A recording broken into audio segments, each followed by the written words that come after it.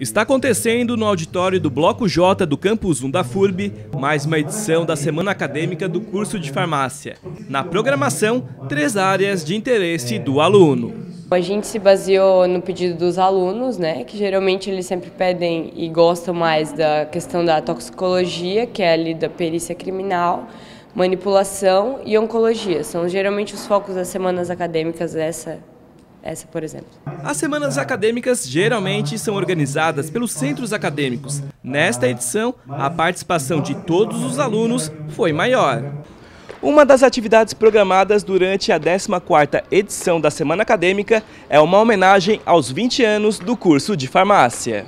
A data foi lembrada na manhã desta quinta-feira, dia 13. Professores, ex-alunos que contribuíram na criação do curso participaram da solenidade além da reitora Márcia Sardá Espíndola. Bom, acho que é importante fazer esse resgate histórico, né, assim mostrando para o é, estudante jovem, né, como foi toda a história do curso. Então é importante trazer os fundadores, eles contarem a história e muito mais do que isso, né, eles terem o orgulho do curso que eles uh, idealizaram hoje chegar com excelência. A semana acadêmica segue até esta sexta-feira e a programação completa está no Facebook. O curso de farmácia da FURB já formou mais de mil alunos durante os 20 anos.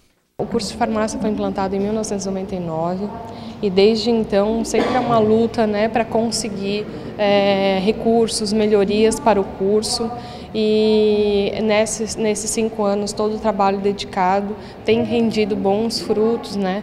porque a gente tem excelentes profissionais no mercado, nós é, conseguimos nota máxima nas avaliações, então como o ENAD, então todo esse trabalho a gente vê que e esforço né, diário, a gente vê que está sendo recompensado e esses 20 anos realmente é o momento para a gente parar e, né, e rever tudo que a gente já fez e celebrar mesmo né, as nossas conquistas, as nossas, é, as nossas, os nossos acadêmicos que agora estão no mercado, né, os farmacêuticos, que a gente sempre tem muito orgulho disso tudo.